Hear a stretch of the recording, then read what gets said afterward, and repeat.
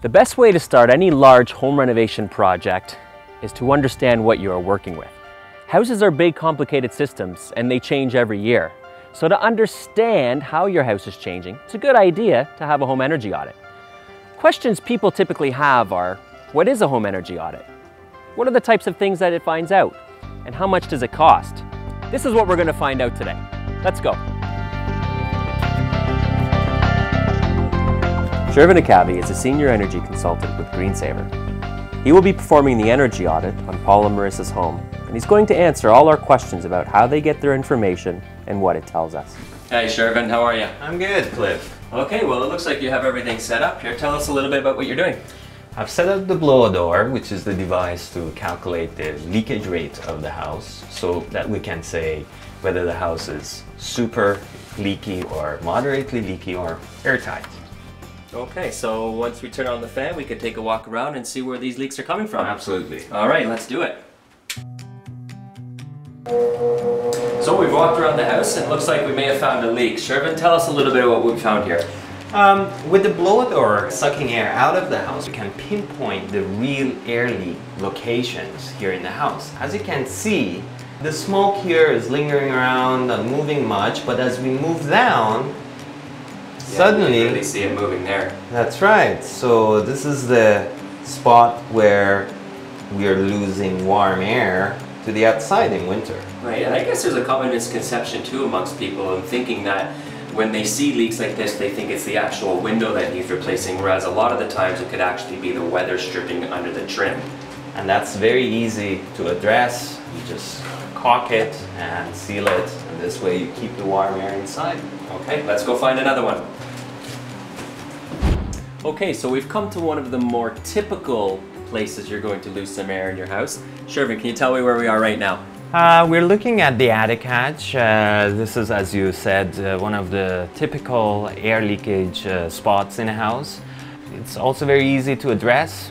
Just weather strip it or use removable caulking. So if you need to go into the attic, you can Okay. Now we know that an energy audit doesn't all look at the leaks of the house. What else does an energy audit do? We need also to know how much insulation is in the house, in the walls, in the attic, in the basement. And basically I have to have a look uh, and see uh, whether there is any insulation or yes, how much is there and what's the potential for an upgrade. Okay, so let's have a look and see how much let's is up go there. into the attic. This attic insulation is typical of a 30-year-old home and could use an update. We'll talk more about this in the home envelope video. Right now, let's go see what Shervin is doing in the living room. As part of measuring the insulation level of the house, we want to now check the, the walls, Shervin. So how do we do that? I've opened the electrical outlet here and I can poke in and see whether there is insulation. Yes, there is. And if there is, how much insulation is there? And so by doing this, you can actually obtain exactly what type of a value of insulation is out That's right. I'm looking at three and a half inches of uh, fluffy batt insulation, which is equal to R12. And R12 seems to be more or less the typical, The value for the suburban North American homes That's built right. 20 to 30 years ago. That's right. And that's okay. This is not the top priority to increase this insulation level. Uh, there are much more other uh, opportunities around the house to uh, save energy. Okay, so we've measured the air leakage rate, we've checked our insulation levels, and now we're on to our last component of the energy audit. And Shervin, please explain what that is. At this point, I'm looking at the furnace, I'm looking for the efficiency of this furnace, and I want to determine whether it's worthwhile upgrading it or not.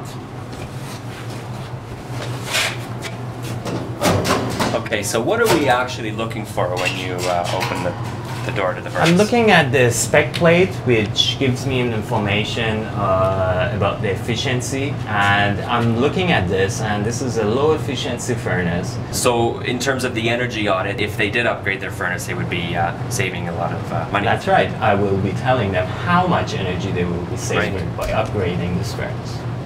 All right. Now, are there other appliances that you check also other than the furnace? Besides the furnace, I will be also checking the water tank and also the cooling system.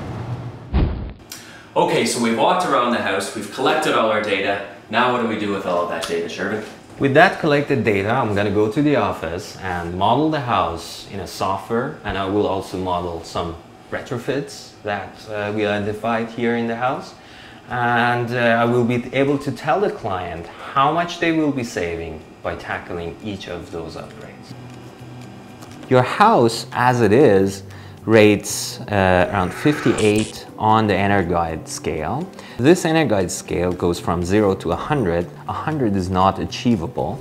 New houses are rated around 64, 65, and very efficient houses are around 80, 82. With the upgrades that I'm proposing, we can get your house up from 58 to 76 which considering the age of the house, it's very good in terms of energy efficiency. As you know, I did also the air leakage test. The air leakage rate of your house is about 4.1 with a leakage area approximately 15 inches by 15 inches.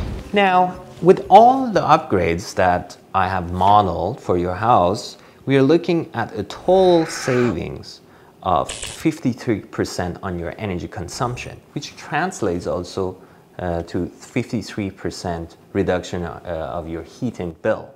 So that's our energy challenge. We're going to try to reduce their gas bill by 50%.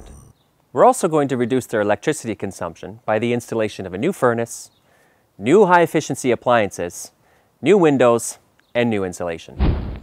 In Canada, the energy audit is a practice regulated by the federal government. Any company you hire should be a certified service organization, and they will send a trained energy advisor to complete the audit. The only question that remains is how much does it cost? For a house like this, the initial assessment costs about $325. After all the work has been done, you'll need a follow-up assessment which costs $175. All in, we're looking at about $500. Not bad considering the amount of energy savings over the next year would be in the thousands.